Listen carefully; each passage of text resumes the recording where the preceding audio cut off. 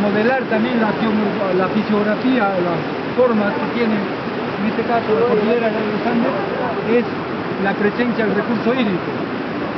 Eh, sabemos que acá de, a partir de 4500 nieva en la temporada diciembre, enero, febrero hasta marzo. A partir de 4500 arriba cae el agua como focos de nieve. Entonces esto se va a almacenar en las partes más altas que llamamos glaciares. De los glaciares, en la época eh, que estamos llamando el estiaje, eh, esta va a pasar a alimentar aquí a las lagunas. De las lagunas se va a dar origen a todos estos ríos. Posiblemente el agua que estemos viendo acá, que, estemos, eh, que esté descubriendo, sea de lo que ayer, por proceso de lo que es la, de, la deglaciación, lo haya almacenado en la laguna. Eh, ¿Por qué estamos acá parados? Yo les decía que todos los valles formados acá tienen forma de U, no son valles en forma de B. Y, digamos, anteriormente todo lo que era la parte estaba cubierto de muro. Pero se dice ya que uy, uy, cuidado, cuidado amiga, cuando estén acá no confíen que están en un piso plano, Entonces, lo que yo decía, la forma de estos paredones ha sido proceso de la presencia glacial, eh, el descubrimiento de las aguas, el proceso, porque todos los años se acumula nieve, pero también en la temporada de estiaje se va a perder. Entonces ahora se ha, determinado por retroceso glacial que el balance de nieve es negativo, que quiere decir que no hay acumulación, hay pérdida. Y el retroceso glacial calculado de lo que es en promedio son 20 metros anuales de frente. Ahora, superficialmente una experiencia que se hizo en Pastoruri cubriendo una superficie de 170 metros cuadrados, eh, en tres meses perdió un metro 20 de altitud. ¿No? En Pastoruria, imagínense cuánto se pierde, no solo como proceso glaciar de frente, sino de forma vertical. ¿Ya? Entonces, todas las formas que tienen acá, que hay este, fisuras, fallas en la roca, que de esas formas es acción, primero del recurso hídrico y de lo que llevamos en el turismo, se llama meteorización. La meteorización es acción la parte biológica, la parte física y la parte química. ¿Por qué la parte química? Porque sabemos que toda roca está construida por elementos ¿sí?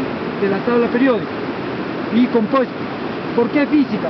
Porque vamos a tener que la temperatura, vamos a tener lo que es la radiación solar, vamos a tener eh, el accionar del cambio de temperatura, que en la noche puede bajar a ser debajo de 0 grados y en el día podemos llegar a 20. Entonces ese margen, digamos, de gradiente de temperatura hace que muchas de las rocas empiecen a partirse, a formarse las famosas fallas, o el trituramiento debido a que, por ejemplo, acá que tenemos, ¿qué es esto para ustedes? ¿Qué es? Que no está en un reino, ¿ya qué es? Es un musgo, es un musgo que, y este es un líquen. Son los, las primeras especies, incluso no son vegetales, primigenias, que van a empezar a formar que suelo. Estos van a empezar a corroerlo y formar lo que por acá está, miren, en forma fina musgos y lígenes actúan sobre esto. Entonces tenemos la parte biológica, ¿no? Yo les dije, factor químico, físico y biológico. Y tenemos estas especies, que son primigenios. ¿no? Y esto también es, miren, ¿qué es? Líquido. Hay diferentes formas de líquen que son indicadores de la calidad ambiental que puede estar eh, presente en la zona. Líquenes y musgos. Entonces, ¿quiénes actúan sobre las rocas para que se descompongan? La biológica, física y química. ¿Por qué química? ¿Por qué reacciones? ¿Y por qué física? Porque hay elementos como la temperatura, radiación solar que actúan, todos ellos se confabulan y llaman lo que es la meteorización o intemperismo. Meteorización o intemperismo físico, la calor, el calor, la temperatura, radiación solar. ¿Ah? Biológica, la presencia de estos microorganismos o seres inferiores o especies inferiores del reino vegetal. ¿sí? Preguntas hasta ahí. Ahora, ¿por qué hablamos de calidad de agua? Esa calidad, por ejemplo, esa, el agua que está discurriendo por ahí tiene un pH neutro. O sea, no es ácido, no es ácido ni alcalino.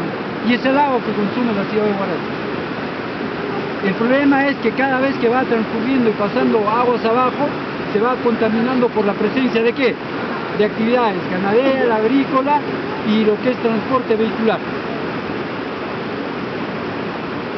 En la agrícola de repente estamos utilizando qué? Agroquímicos, ¿no es cierto? En la ganadera, las excretas del ganado están generando lo que es nitrato que puede en las lagunas, si estuviera almacenado el agua, genera lo que es la eutrofización. El proceso de eutrofización es la pérdida de condiciones de calidad de oxigenación del agua para generar otras formas de vida que no sean este, especies, en este caso como eh, lo que llamamos eh, las algas. Cuando hay abundancia de algas, estas van a generar los lobos y los lobos no van a permitir que haya una oxigenación del agua y se va a perder ese cuerpo de agua. Entonces ya no es posible la presencia de, especies nativas como la torreja, como la chimichalva, la carta, son especies, eh, digamos, de peces propias de nuestra zona, y no es la trucha. La trucha es una especie introducida que ha calado en la seguridad alimentaria de los pobladores y un poco en que la parte empresarial. Pero si nosotros quisiéramos tener lo nuestro, tendría que ser la chimichalo o la carpa, que son peces muy pequeños, que no son necesariamente comerciales. Preguntas. Ahí tienen al quemar una especie arbustiva que es, una, que es nativa y también teníamos lo que era el aliso, ¿no? que le está hacia el frío. ¿Qué animales hay acá? Animales silvestres, venado, muy bien. ¿Qué más? Pizcacha, ¿qué más? ¿Ah? Ya hay vicuña, ¿qué más? Águilas. ¿Ah? Águilas hay, el cóndor estará. Águilas hay. Ya, ¿dónde está mi manual de aves? ¿Quién lo tiene? ¿Qué tiene el manual de aves? La guía de aves. Ah, quería enseñarles a ahorita. ¿Usted cree, ¿usted cree que podamos ver los animalitos? Profesor, Ahí está, profesor, en el primer asiento. a- en la, en la punta de los, de los cerros hay vegetal, ¿no? Sí, esas son plantas litofíticas. Buena pregunta. Lito es piedra, fíticas que viven en las piedras, entre las piedras. Sí, especies litofíticas, de paredones. Y lo que tienen acá, por ejemplo, es un matorral. Hacia acá es un matorral, ¿no? Pero lo que está más arriba podría ser ya lo que es este pajonal. Acá hay especies introducidas como el pino y el eu- eucalipto. Pero el resto sí es propia de la zona. Litofísica. ¿Es lito- Plantas li- litofísica? litofíticas. Ah. Fíticas. Litofísica. Lito es piedra.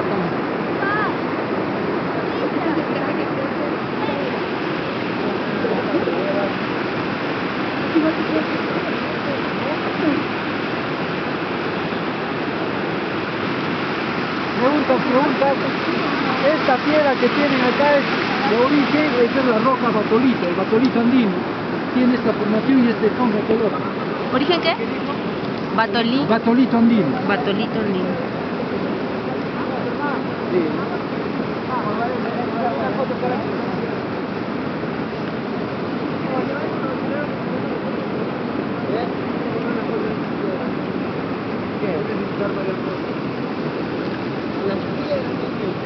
Yo lo que quería indicarles que cuando nosotros vamos al- al- al- al- a los bosques de, de Polidepis o de Quenual, vamos a encontrar el azulito andino y Ah, es un color. ¿ah? de la clase Lima. Claro, ya esta es la especie que es un indicador de que estamos en un bosque de quenual.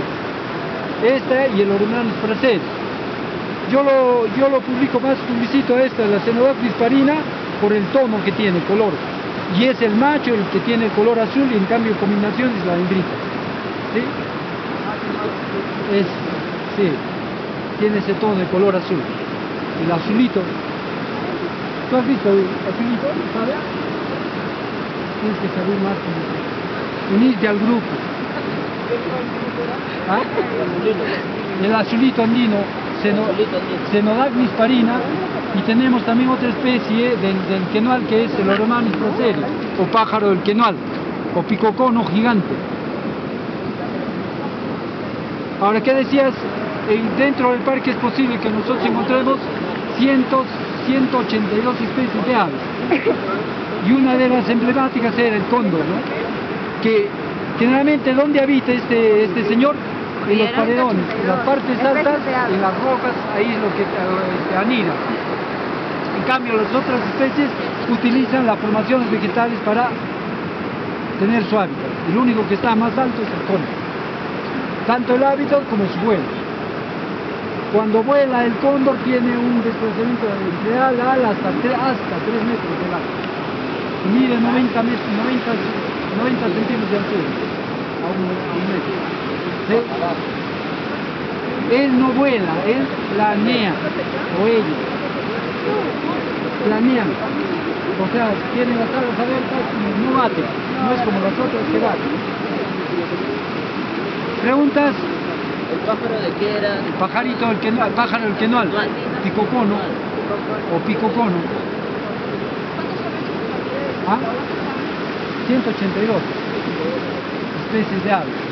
Los más representativos, el cóndor, y él les he enseñado los dos que quieran visitar.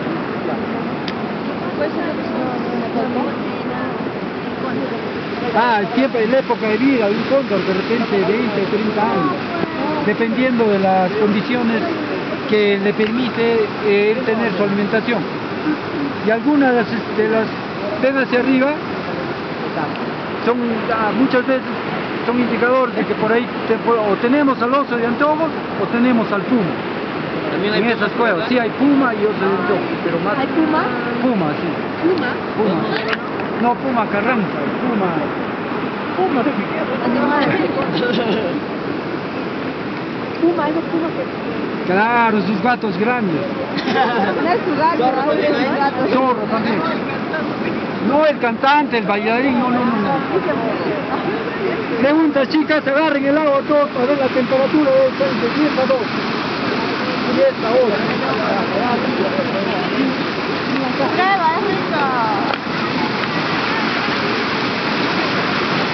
Se me congelada, señor.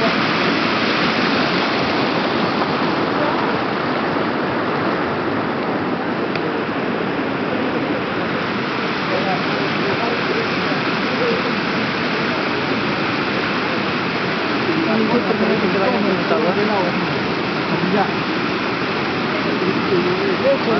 A ver, el hecho de estar golpeando está oxigenando, está incorporando oxígeno, por eso es que el agua es.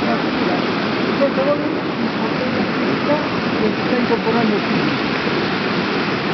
Acá se podemos encontrar de repente algunos este. ¿Ah? Ah,